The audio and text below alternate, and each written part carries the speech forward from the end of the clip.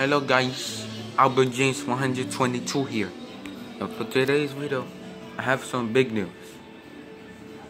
Next week or next day, I'll be going to South Nova. Good.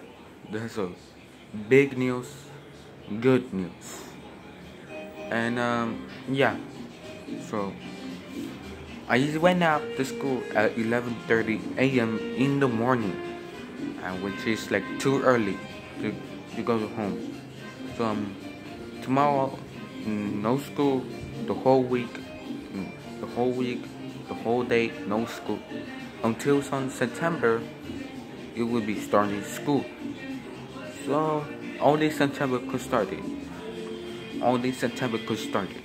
So right now um, I just want to remind you to make sure you guys um, have to go to school on September, uh, which is like um, when you're a new kid, you would you you would just like bully, uh, which is not pretty nice. So um, if the kids, if you saw a kid that been bullied, help them out. Don't just stand there and uh, watch the kids um, standing up.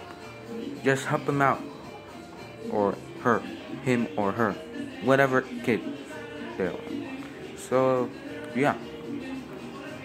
Whew.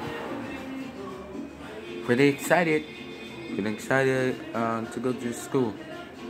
To go to school on business school which is the same building uh, which is address called Taylor Avenue. So yeah that's uh, that's what I'm going I think. I don't know.